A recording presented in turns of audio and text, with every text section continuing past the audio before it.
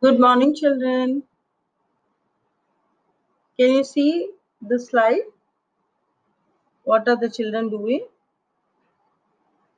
They're playing different games. Have you all pasted the pictures of indoor games and outdoor games? Okay. Isha, can you just name two indoor games and outdoor games?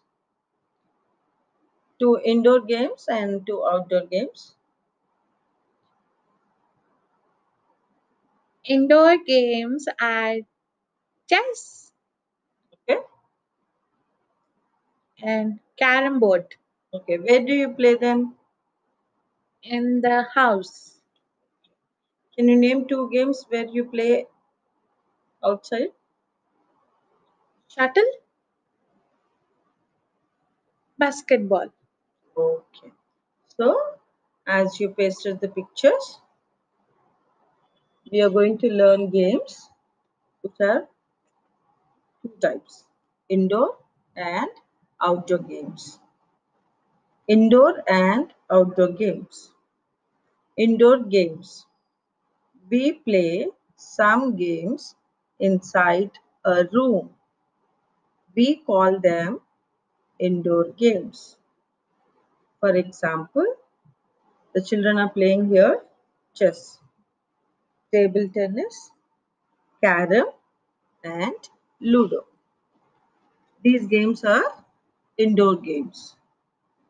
And here, when you see the children are playing football outside in the playground.